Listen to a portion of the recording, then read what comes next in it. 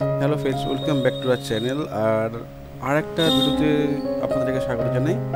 আজকে আমি ড্রয়িং করছি লর্ড কৃষ্ণা এটা ওয়াটার কালারে হবে। Water class water colour based হবে এটা। আর স্টেপ বাই স্টেপ এখানে দেখানো হচ্ছে, আর আপনারা দেখবেন বাচ্চারা তোমরা দেখবে, দেখে স্টেপ বাই স্টেপ এখানে দেওয়া আছে যে ড্রয়িংটা কেমন হয়।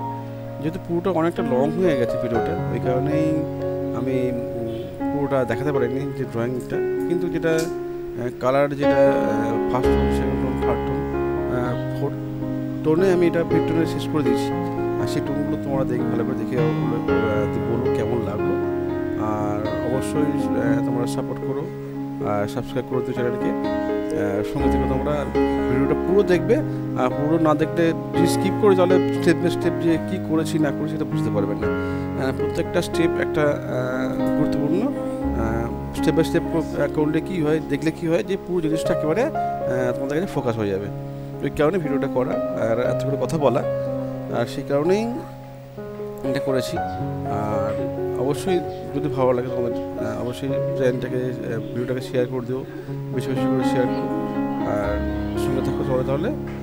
দেখো কীভাবে কত কতটা কীভাবে কী করছি, আর তোমাদেরকে দেখানোর জন্যে। ভালো লাগলে অবশ্যই কমেন্ট করো।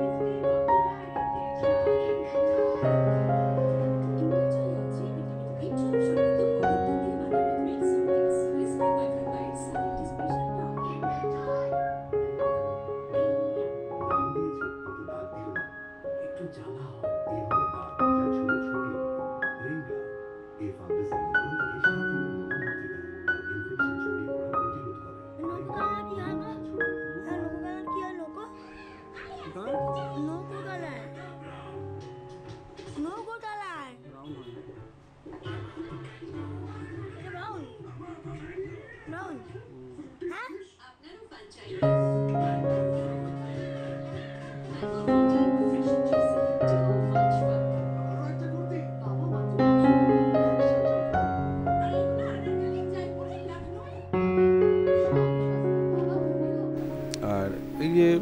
শ্রীকৃষ্ণের ছবিটা অতটা সোজা না, একটু টাফ ছবি, আমি যতটা পেরেছি সোজা করে দেখিয়েছি। মানে অতটা ডিটেলসে আমি যাইনি।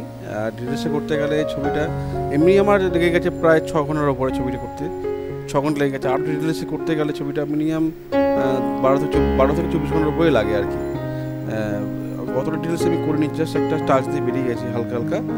আর এটা আরও আরও ভালোভাবে করতে গেলে আরও বেশি সময় লাগবে আর জিনিসটাও করার পরে বারে যখন কাজ করব তোমাদেরকে সেটা সেইভাবে করে দেখাবো তোমাদেরকে।